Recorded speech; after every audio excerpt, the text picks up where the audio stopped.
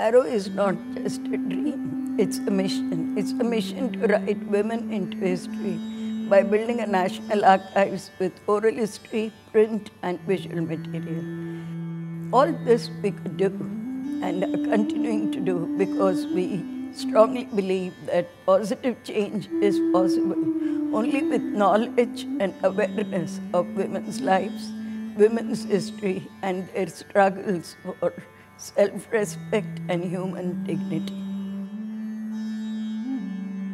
Writer and poet C.S. Lakshmi and all the women dedicated to Sparrow have a 25 years legacy of vision, dreams, struggle to transmit. The impact of these archives is tantamount for the advancement of women's condition and a tool for change with a paramount impact in the country.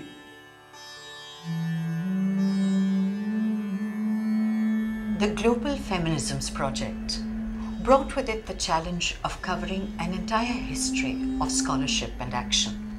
Here at Sparrow, we felt we needed to make at least a hundred films to document every bit of action and every idea that has emerged from among women studies scholars. Sparrow is rewarded for redefining the impact of Indian women's actions, struggles, creativity, dreams for a more just, balanced, and progressive Indian society.